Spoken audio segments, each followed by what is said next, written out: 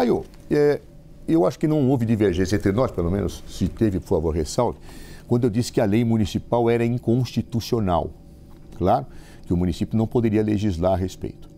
Mas eu te pergunto o seguinte: vamos imaginar que você fosse um deputado federal, claro, e que tivesse, portanto, o poder de apresentar um projeto de lei.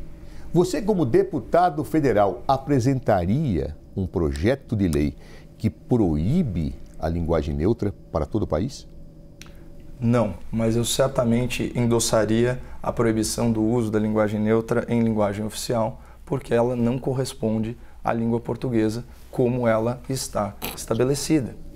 É simples assim. Eu acho que a linguagem oficial e principalmente a forma que vai ser ensinada às nossas crianças como a forma correta, ela deve seguir aí diretrizes básicas, com base em construções sociais sólidas e não num conceito elitista e progressista de querer impor a sua visão de gênero à sociedade brasileira, né? sem nenhuma consulta às partes interessadas e aqui eu reforço aos pais e mães que têm seus filhos vítimas do péssimo, péssimo ensino público brasileiro.